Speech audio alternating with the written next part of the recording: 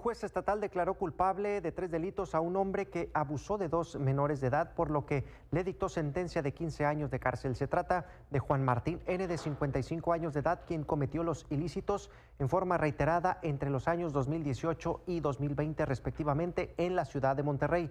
Según el expediente, al ejercer dichos actos en contra de la voluntad de las dos menores, el acusado les provocó daño psicológico al exponerlas a conductas inapropiadas para una persona de esa edad.